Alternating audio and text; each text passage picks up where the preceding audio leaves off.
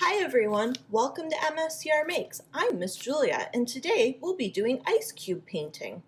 This project will be done in two parts.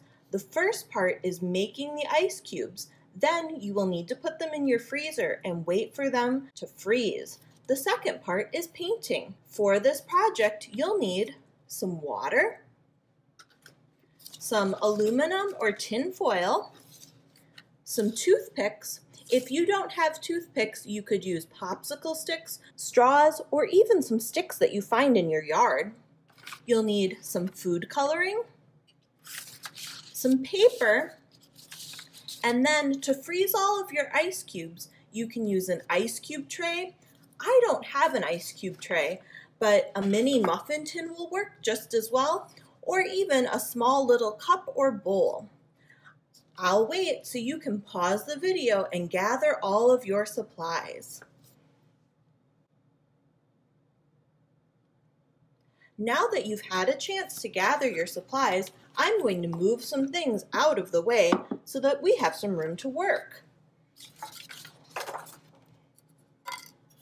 So the first thing is freezing your ice cubes. Remember, you can use an ice cube tray, a whole bunch of little bowls, a whole bunch of little cups, or even some of these. These are little takeout containers. I'll show you using this mini muffin tray I have. The first thing that you want to do is pour some water.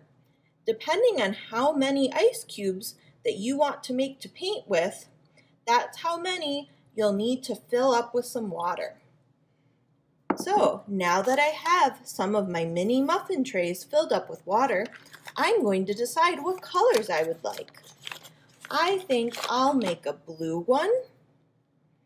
So I'll just drop in a few drops of blue. The more food coloring you add, the more vibrant the colors will be. Next, I'll make a red one. And I think I'll make a green one too.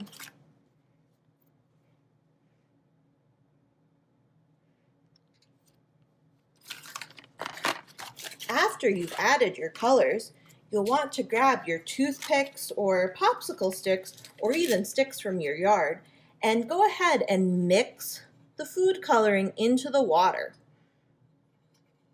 You can use the same stick for all of them.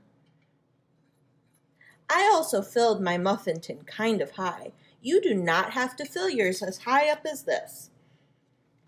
The next thing that you'll do is grab your aluminum foil.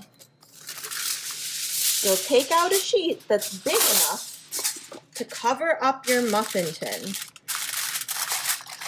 Go ahead and wrap the tin so that you have a layer of aluminum foil on the top. Now, if you press a little bit, you can see where each of the little muffin tins are. Use your toothpick to carefully poke a hole in each one. This is how you're going to be able to hold on to the ice once it is frozen. The next thing that you need to do is put this whole thing in your freezer. It's going to take a few hours to freeze everything, maybe even overnight. In the meantime, you could practice doing some watercolors on a regular sheet of paper with regular watercolors so that you can tell the difference and see which one you like better. I'm going to go put this one in my freezer.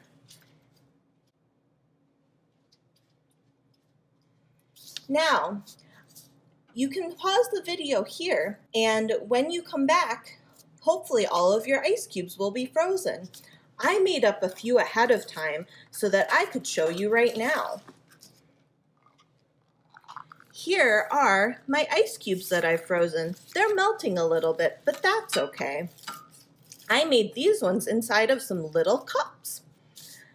If you have trouble getting your ice cubes out of your ice cube tray or whatever else you froze them in, try putting a little bit of hot water in the bottom of your sink and then setting your cups or ice cube tray in there. It will help melt just a little bit of the outside and then you should be able to pop them up very easily. So I'm going to take my piece of paper and use some of my new Ice Cube watercolors. So you can experiment drawing different lines or try using the edge and see if you can get some that are bigger sides. And if you use the corner, it will make smaller lines. Have fun experimenting on several different pieces of paper and see what cool designs you can come up with. This one's kind of abstract, but you could even make things that aren't, like a smiley face. Well, I hope you enjoy this project. I'll see you in the next one. Bye!